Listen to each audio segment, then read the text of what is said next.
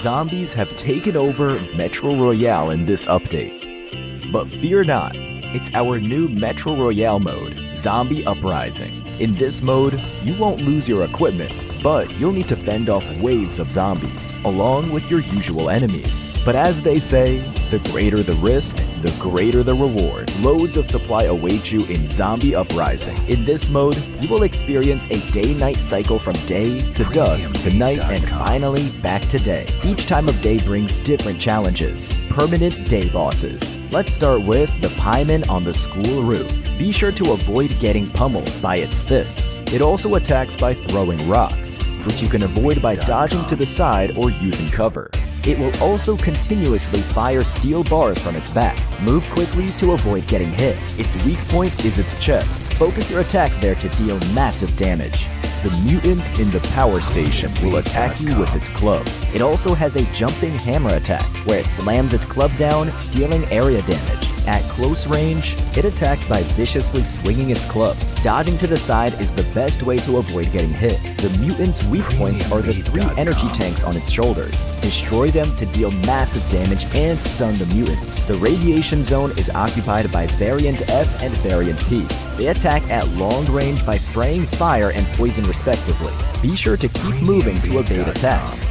When dusk and night fall, the fog becomes thicker, as you may encounter zombie hordes in the wilderness. Additionally, at night, special containers near existing bosses will spawn a nighttime version of the boss. These nighttime bosses are far more dangerous than their daytime counterparts.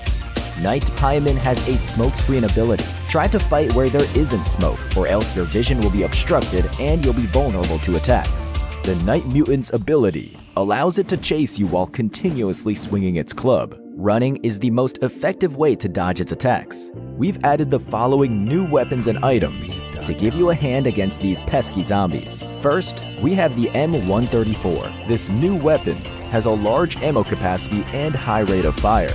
Its immense firepower is sure to help you fight your way out of a horde of zombies. However, firing the M134 takes some time to start up, so you need to get your timing right. Up next is the flamethrower. Fire has always been effective against zombies.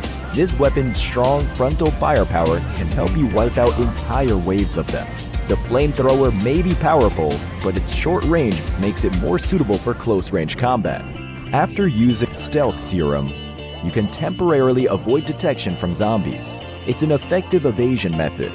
But remember, if you initiate an attack against a zombie, it will attack back.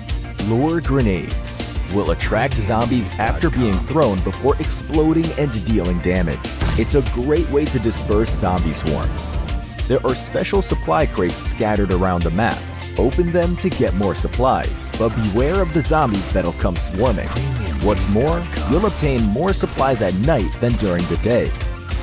Black Market bounty missions have also been updated. Go to the Black Market to purchase a bounty mission, then eliminate the bounty target to claim your rewards.